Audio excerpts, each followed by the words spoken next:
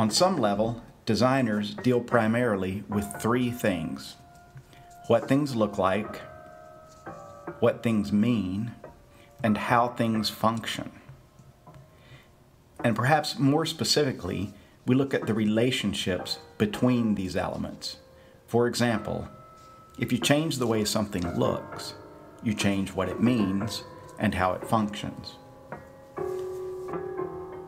As you may know, semiotics is the study of signs and sign processes, and it looks closely at the structures and meanings of languages and other systems, like graphic design, that operate like languages. Semiotic theory loves a good triad. In semiotic terminology, the triad I just described would be labeled this way syntactics, which looks at formal issues and the relationships between signs, semantics, which looks at meaning and the relationships between signs and the things to which they refer, and pragmatics, which looks at function and the relationships between signs and those who use them.